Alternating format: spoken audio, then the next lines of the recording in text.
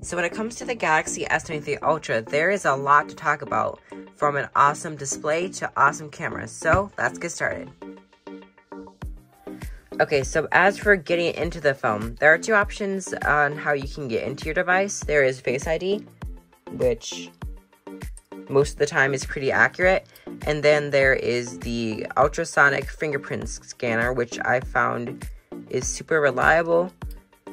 Just one simple tap of your finger and you're instantly in.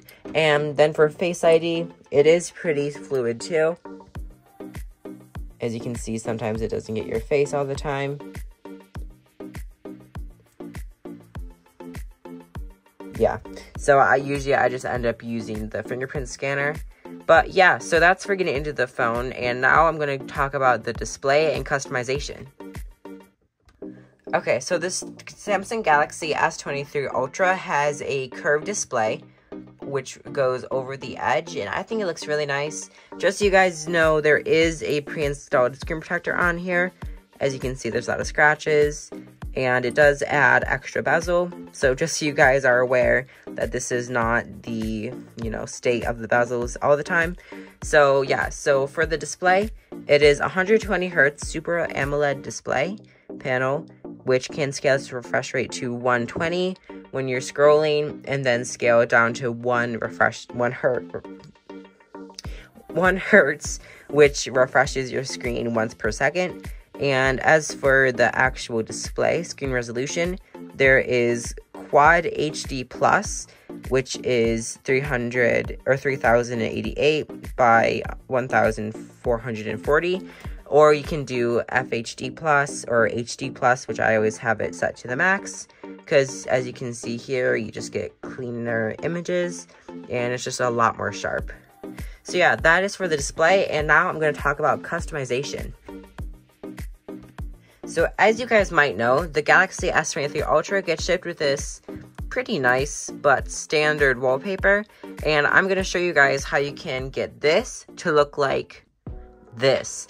And as you can see, this is a beautiful wallpaper with the this clock analog widget and the weather, battery information, Google search bar, some widgets over here, my apps.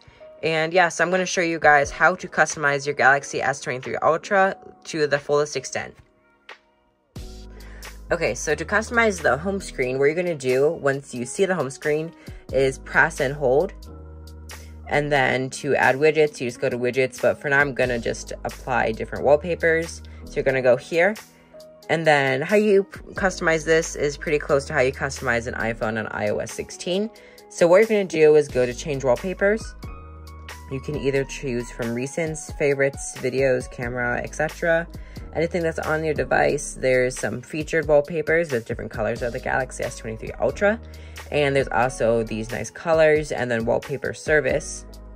And then also graphical, which I think look really nice with this one. It's kind of like puffs with different colors. And you can also switch between the home screen and lock screen to see which one you like better and see if that's a good fit. And also, you just you can make that any size, choosing different fonts, colors, make your own color, or just pick the default color that they think looks best. I like this blue color. I think that looks really vibrant and bright. So what you're to do is just hit done.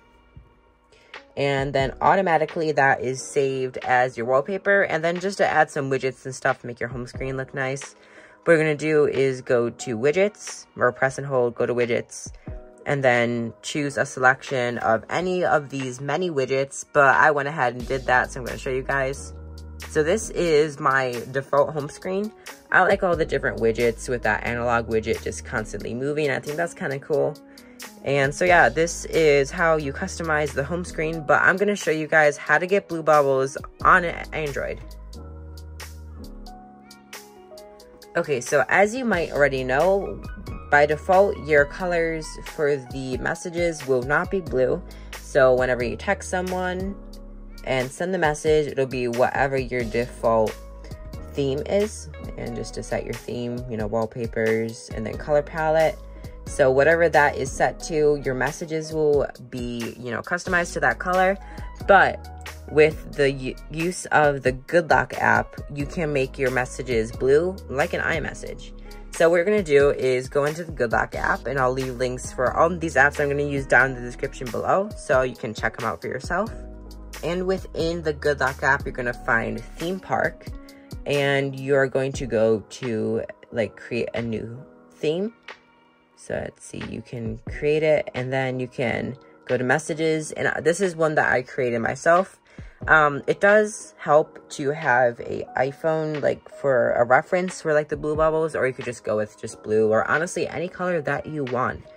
And you can also customize like the shapes of your icons, just stuff like that. And you can also do like keyboard, timers, and certain stuff you cannot customize yet. Hopefully within One UI 6, everything about your phone will be customizable. Um, but honestly, I'm pretty happy with what we have for customization on One UI 5. So just hit apply. And then once it finishes, okay, you're going to go into messages again. And you can see they switch from purple to blue.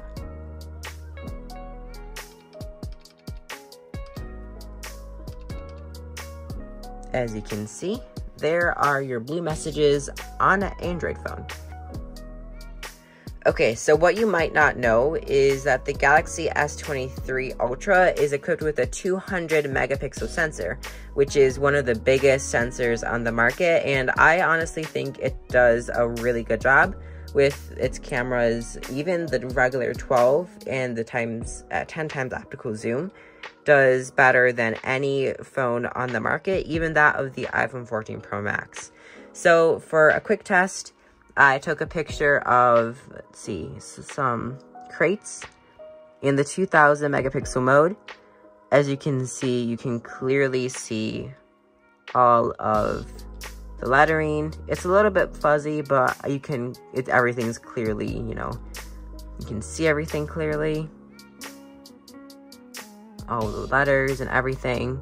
And as you can see, that was taken in 2000 megapixels, or 200, sorry. And then in 12 megapixels, same image as you can see, just in 12. If you zoom into the same spot, can't even really zoom in that far, but as you can see that it is extremely fuzzy, which I find is really fascinating that you can just get so much detail with one single camera especially that of a smartphone. So yeah, that's just a small sample and I can put some others on screen here for you to see of just the amazing camera quality of the Galaxy S23 Ultra. Okay, this is another example in 12 megapixels. As you can see, the phone gets a really good dynamic range and it gets just so much detail of this plant. It's like kind of like you're looking at the plant. I think it's did a really good job of just catching all the details as you can see. And again, this is only in the 12 megapixel mode. So that just shows how good the camera is on this phone. So as for cameras, I would definitely say that it's a great experience. And if you're looking for a phone at a relatively low cost and you want like the best cameras, I would definitely go for the Galaxy S23 Ultra. Okay, and now for the ecosystem of devices with the Galaxy S23 Ultra. So personally, I have the Galaxy Buds 2 Pro and the Galaxy Watch 5. And I would say that this is probably one of my favorite smartwatches, even that of the, um, I said iPhone 14, of the Apple Watch Series 8. Um, as you can see, this was, let's see, a very heavy usage with, I was, let's see, focus. Not that much. Sorry, not sure what happened there. Okay, so that's really overexposed. Okay. Okay, there we go. So as you can see, it says I got in one day and 12 hours of battery life, but this was from a half charge, so it was only at 50%, and now it is at 8%.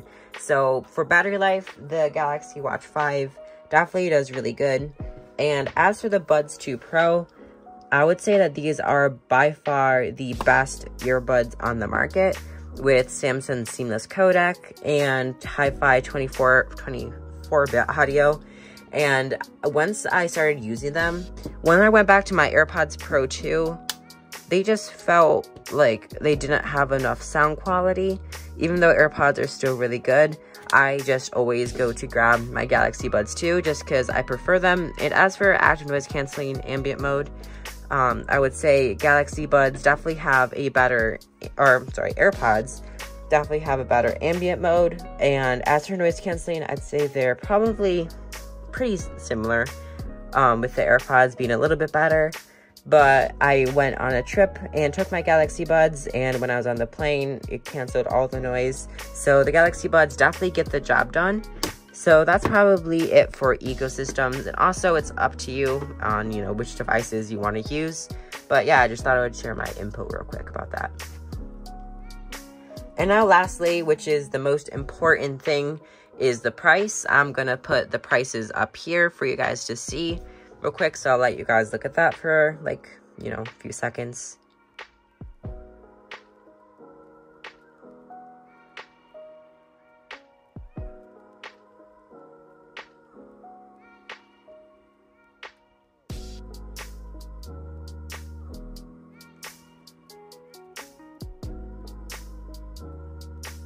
Okay, and as for colors, you have this exclusive to Samsung's website blue color, which I absolutely love.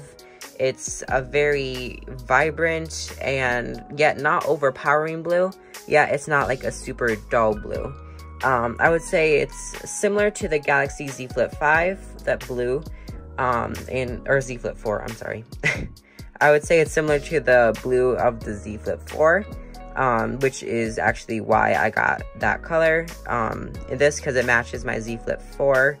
And honestly, I love this color. And you also get a cream color, a gray green, a lavender color, and black. And then you also have um, this um, blue one. And you also get like a reddish orange one, as you can see here. And you also get a lime color and a phantom black. Phantom gray. I'm not sure which one. I'll leave it right here so you guys can see. But yeah, so that's for the colors and the price. Um, but for price, I personally paid um, 1500 for this device. And as you can see, it is the 512 gigabyte version. So it definitely has more storage and keep in mind that was with some accessories and stuff. So that was not just the device. Like I got a charger. I got Samsung's 10,000 milliamp hour battery charging like pack, like rechargeable battery pack and also like a case and some few other accessories. So honestly, I'd say for price, this is definitely worth it. You're getting awesome cameras, a strong design, very durable glass on the front and back, and a great display, you know, with biometrics and everything. So honestly, if you guys are out there looking for a new smartphone and you guys are considering getting the Galaxy S23 Ultra, I would definitely recommend it to, you know, you or you could recommend it to a friend or anything. Um, but yeah, so that those are my thoughts on the Galaxy S23 Ultra. If you enjoyed this review and found it helpful, please consider, consider subscribing, and I'll catch you in my next video. See you then.